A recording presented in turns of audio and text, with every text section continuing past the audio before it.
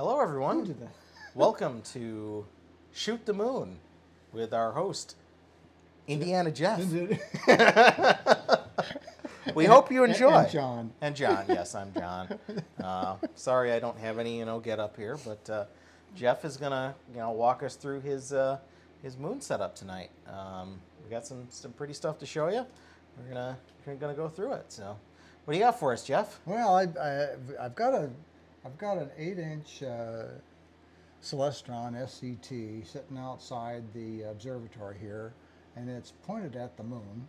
And I'm using a Hyperstar uh, lens with a, um, with a cooled camera sitting on the end of it.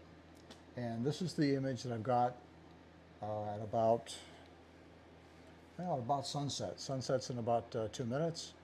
And uh, we're going to see, uh, today we're going to see if we can capture roughly 500 frames of the moon and uh, do some lucky astronomy. We'll, we'll throw out the bad frames and we'll uh, stack the good frames and then uh, do some processing it. Take about 15 minutes per of, uh, of time to, um, to process this. So right now I'm going to uh, use SharpCap. Uh, uh, for those of you familiar with SharpCap, I'm going to capture about 500 frames and um, and then do the rest of the post-processing after that and see if we can make it a prettier picture.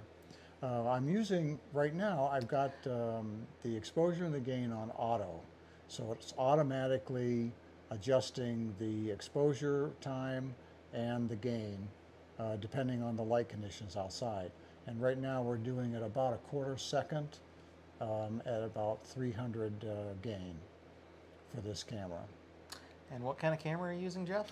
Um, it's a, a ZWO ASI uh, 533 cooler camera, um, one shot color, and I don't know what else about that Okay, thing. yeah. No, it should be. And right now we're at about negative 8.3 degrees, it looks like. Cooler's at 100%, so it must be plenty warm out there tonight. Yeah, I've got it set at negative 10, and we're hitting about negative 8, and it's uh, it's running pretty hot. So it's um, uh, it's it's barely keeping up. I'd like it to be a little cooler because it'll. If I don't have it cool enough, I'll get some some hot pixels uh, all over the place. But hopefully we won't have too many on this show. Yeah. So I'm right now I've got this thing at full frame and I'm going to stop it down a little bit so this um, so that I can increase my frame rate. You can see down here the frame rate's about 1.8 frames per second, but I need to boost that up um, to about 30 frames a second to uh, to get a good decent picture. So to do that, I'm not going to show, I'm not going to display all of the pixels around the whole frame. I'm going to uh, pretty much crop it down so that just the moon is uh, is showing. So to do that, I'm going to go up here and change the capture area from full frame at 3000 by 3000 down to 800 by 600 and you'll see that we're now we're only seeing part of the moon. And I am also going to reduce, I'm going to take it off of auto for a minute and uh, change the settings a little bit so there's not quite so much uh, blown out. Ooh, that's On the pretty there. Jeff. Yeah, it's nice looking- uh, looking contrast there. I think we were missing that. And over with the with the experience I that I have with this, I know to make it dimmer than you would normally want it. So I'm going to bring it down to about here and reduce the gain a little bit. And I want to make sure that it's still in focus and it looks like it's pretty good. Focus is really important because one thing you can't change in post-processing is focus. If you don't have focus right, you're done. I'm going to start the capture. I've got 500 frames I'm going to capture. I'll start that now. And you can see that I've got 35, 36 frames per second. And it will only take a few seconds to capture 500 frames. I'm about halfway done. And there's 500 frames. The two programs that I use to post-process this are AutoStakkert 3 and Registax. So I'm going to bring up AutoStakkert and open up the file I just created. I created a movie. It's, it's really a movie, um, a 500 frame movie. And I'm going to leave that. Um,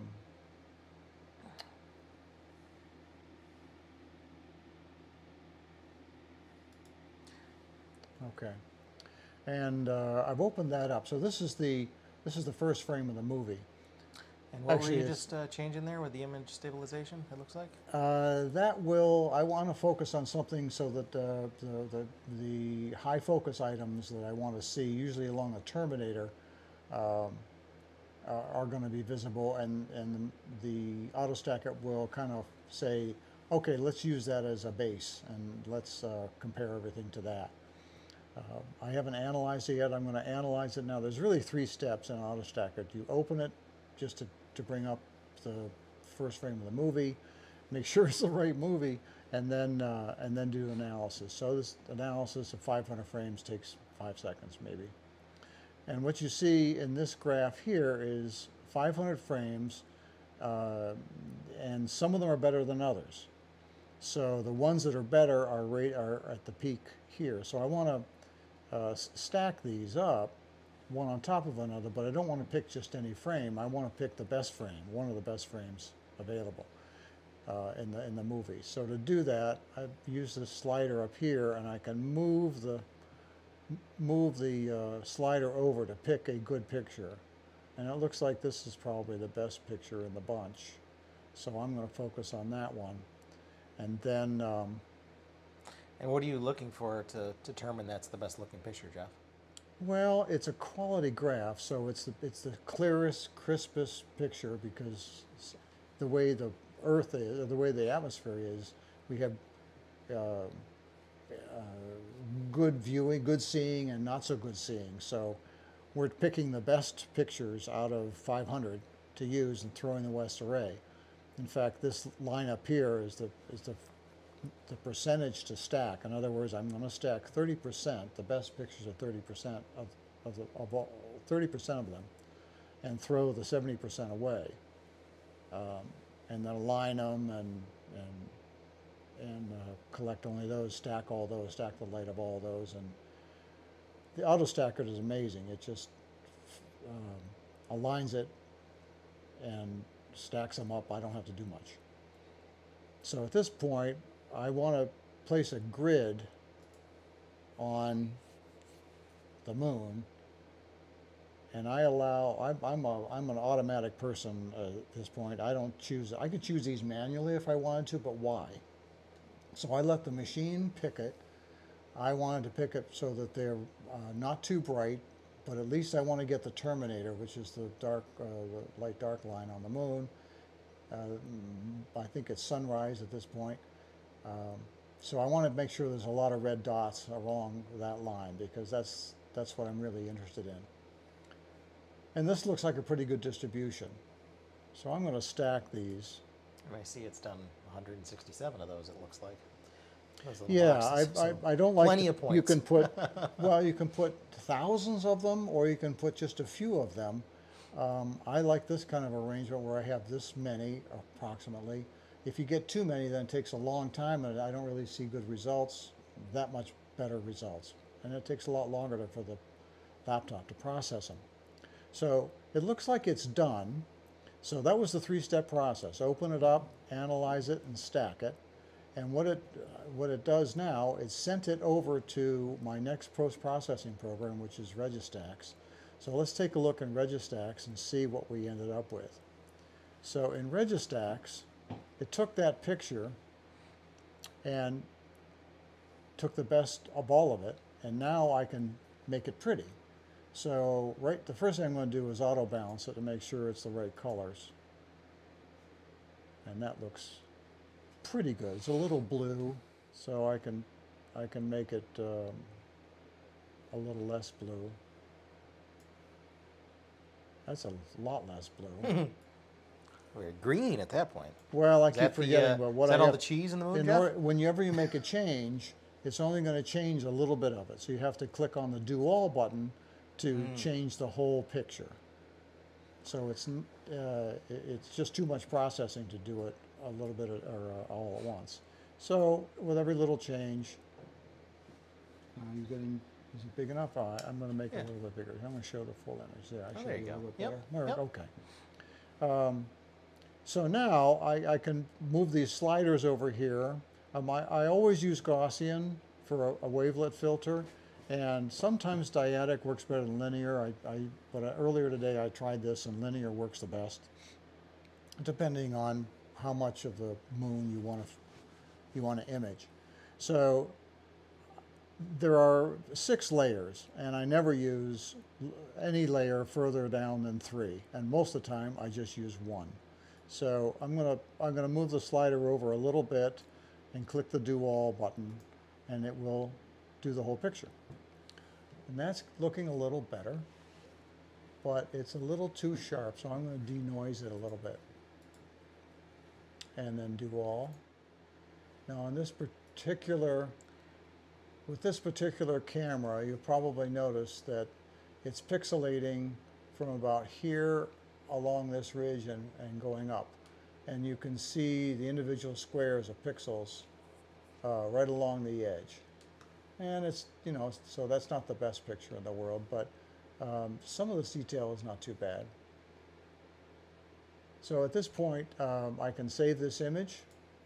Now this is only 17% of moon, so when you do, um, you know, half moon or full moon or something a lot larger, you're going to spend more time um, adjusting uh, this over here. You're going to adjust this differently. You'll end up with more points overall. Yeah, you're going to Yep. have more points or less points. Um, And right now, I've got the, a size of a 48, so that's that's why you see big squares, and I can get away with it. But later on, with the when I do a, a larger moon, I'll have to have even bigger squares and fewer of them uh, if I want to get it done uh, during the during the darkness hours. Yeah, yeah, yeah. We're, we're still a little light here, Jeff. It's still a little bright out, but it, it, I think we're getting the getting the getting the point across. Getting Yeah. a nice looking image there. All right, so that's The um, moon is always a very pretty object, I think. oh my goodness, and yes. on those nights when you know it's a full moon, as I think they all say, if you can't beat them, sometimes you got to join them. You know, it's uh, it, it, it kills everything else that we want to see. You know, if we're doing our deep sky stuff, but it's pretty. yeah. All right, thanks very much for joining us, and we'll see you next time. Yeah, just remember to like and subscribe and hit the bell. Uh, and uh, you know, if you'd like to, if you like what you see, uh, maybe consider becoming a member, coming down and joining us at the Darling Hill Observatory.